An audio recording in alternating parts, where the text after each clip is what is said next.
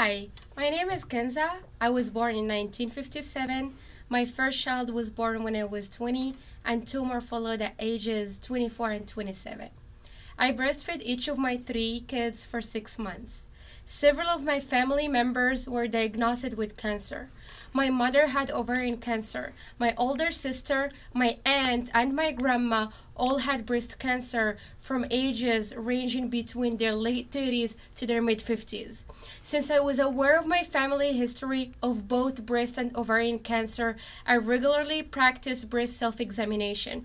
At age 32, my doctor Jennifer suggested to participate in a research study that scientists Bao and Trump conducted.